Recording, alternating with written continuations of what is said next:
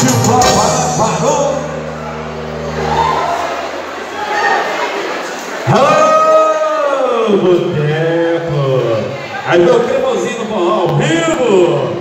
Juntamente com o nosso amigo Fábio dos Teclados. Só participação aqui. Obrigado de forasteiro, de coração. Tá aqui em Paracatu, hein? É mais ou menos assim. Obrigado a galera que tá aí presente.